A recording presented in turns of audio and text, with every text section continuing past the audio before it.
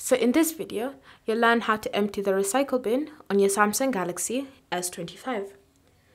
So start by opening the settings app and in settings, you want to scroll and you want to select the option device care.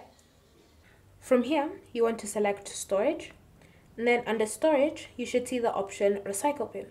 So tap on it and you can view the different categories representing the file types that you've previously deleted.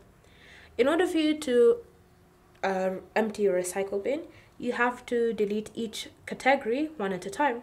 So for example, if I want to empty the recycle bin, I have to start by selecting my files, then tap on select, choose all the items and tap on delete and confirm the choice.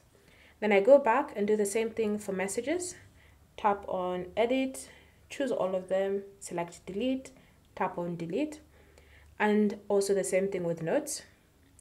So just select the note and tap on delete.